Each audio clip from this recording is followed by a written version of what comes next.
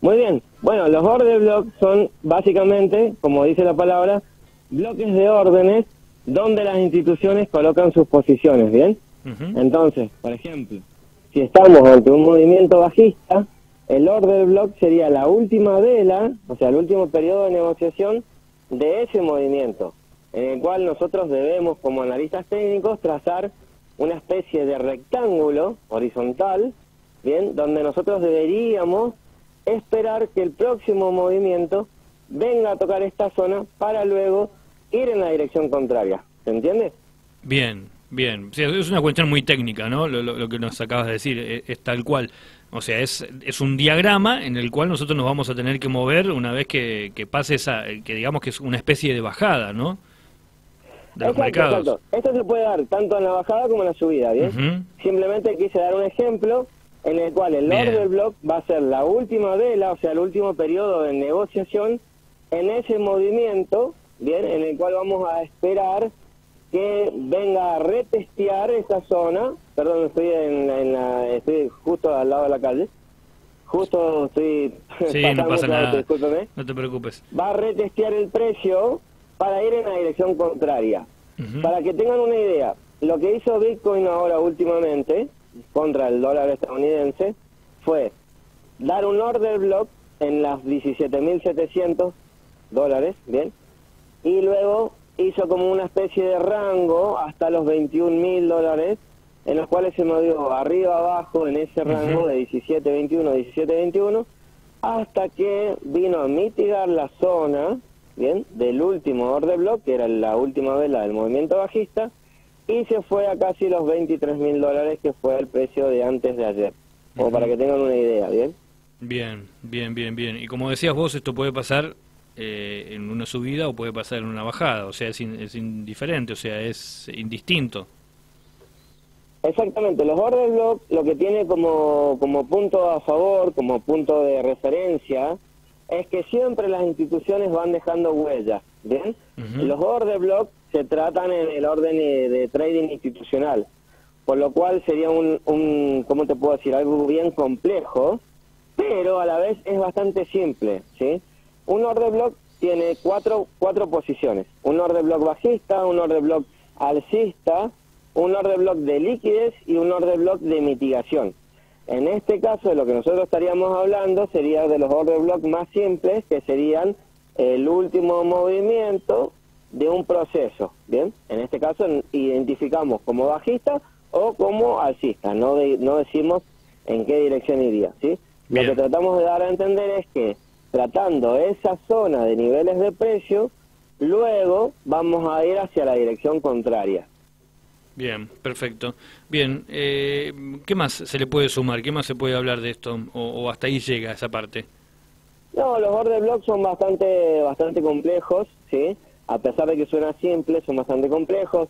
Muchas veces tenemos una vela muy larga con cuanto a que tiene mecha inferior o superior.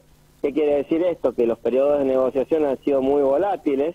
Bien, cuando nosotros hablamos de velas japonesas sabemos que tenemos un, un inicio, un cierre, que van a estar marcados por un cuerpo y luego tenemos un máximo o un mínimo, que son indistintos, que están graficados con una mecha. En este caso, cuando hablamos de un order block bajista o alcista, solo trataríamos la parte baja en caso de que sea alcista y solo trataríamos la parte alta en caso de que sea bajista. Bien, bien. Perfecto. Bueno, Ignacio, ¿qué más nos puedes contar? O sea, otro tema, o, si querés pasamos a, ya directamente a, a, otra pregunta que tengo por acá yo para hacerte, de otras cosas que son actuales. vos decime. Estoy abierto a cualquier pregunta que vos puedas hacerme. Simplemente quiero agradecer por el espacio y agradecer a toda la gente que se está sumando al estudio. Eh, de paso, contarte que estamos abriendo nuevos cupos para, para el mes de septiembre y para el mes de octubre, para la gente que quiere estudiar con nosotros. Así que, básicamente, eso. Bien, bueno, eh, cerramos esa parte. ¿Cómo podemos hacer, por ejemplo, si queremos inscribirnos, eh, una preinscripción o asesoramiento? ¿Cómo hacemos? ¿Llamamos por teléfono? Contame. Bien, tenemos nuestro teléfono particular, que es nuestro teléfono de trabajo, es 2625 40 52 16.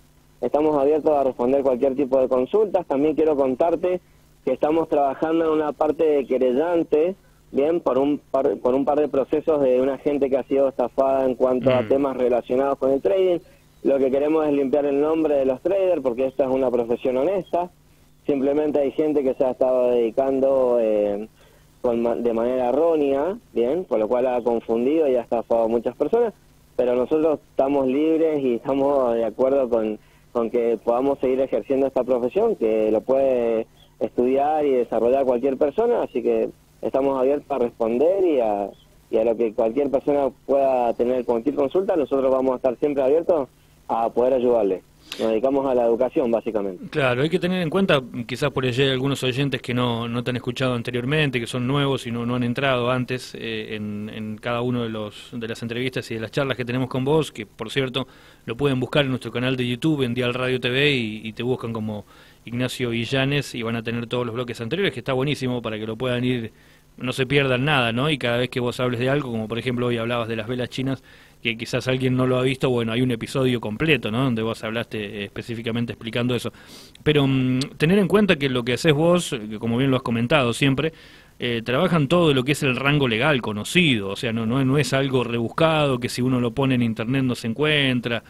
Eh, nos has hablado de Bitcoin, del dólar, nos has hablado de las acciones, de empresas, de cosas que, que son físicas, ¿no? Que uno más allá de que sea digital, eh, es simplemente entrar, por ejemplo, no sé, a un diario eh, ámbito financiero o, la parte del cronista económica y ya está, o sea, es el mismo idioma que vos hablás.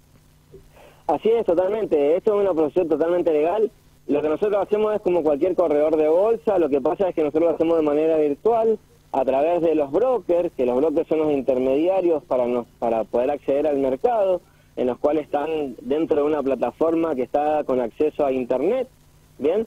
pero esto tiene una huella, es decir, cada una de las operaciones que nosotros hacemos está registrada, cada uno de los ingresos de dinero está registrado, cada uno de los cada uno de los retiros está registrado, o sea, no hay nada ilegal, nosotros pagamos impuestos por las ganancias, eh, es una profesión totalmente legal, hay algunas personas que lo han estado ejerciendo de manera deficiente, por así decirlo, pero esto es algo que lo puede ejercer cualquier persona, es una profesión, es algo que se estudia, bien, esto es como si fuese una ciencia, bien, cada uno de los patrones que nosotros repetimos eh, tiene una fundamentación, cada uno de los brokers tiene una regulación, tanto de impuestos como de AFIP, como de la GAFI, como de un montón de cosas.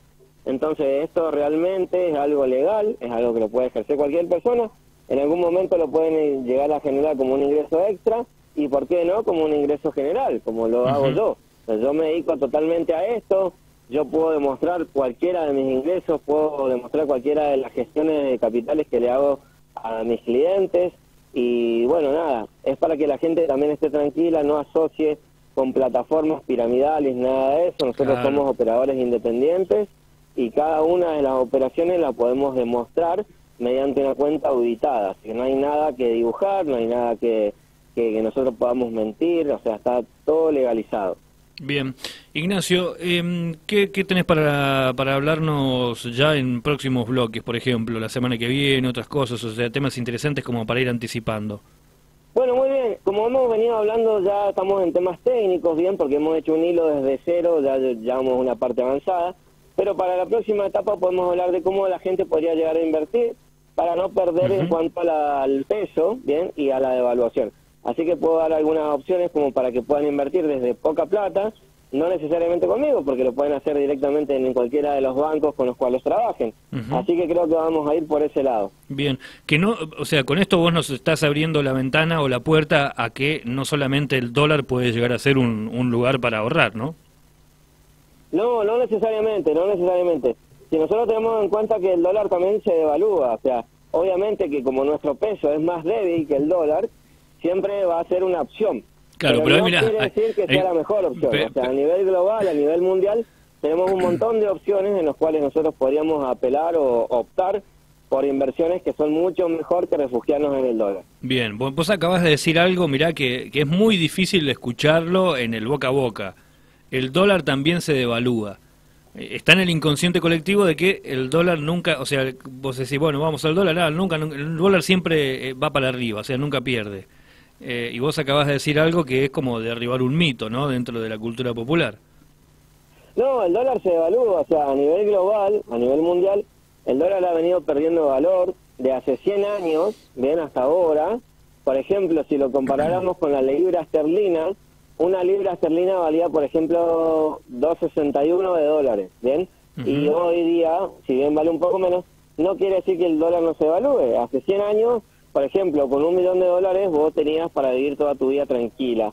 Hoy necesitas al menos 100 millones de dólares para vivir tranquilo. O sea, en el mundo, ¿no? No estoy hablando de Argentina. Sí, sí, sí. En el mundo. Por lo cual tenemos ciclos económicos en los cuales si nosotros trazáramos 600 años atrás, han habido seis monedas que a nivel mundial han sido las más importantes. El dólar está llegando casi a los 90 años de su función, por así decirlo, y si tuviera que darte un pronóstico, la próxima moneda que va a mover el mundo va a ser el Bitcoin, mm. por ejemplo. Sí, sí, se está viendo, se está viendo que su potencial es bastante importante. Ignacio, te agradezco tu tiempo. Muchísimas gracias por el espacio, gracias a vos y saludos para vos y para toda la audiencia. Que tengan muy buena semana. Dale, igualmente, nos vemos pronto. Chau, chau. Muchas gracias, adiós.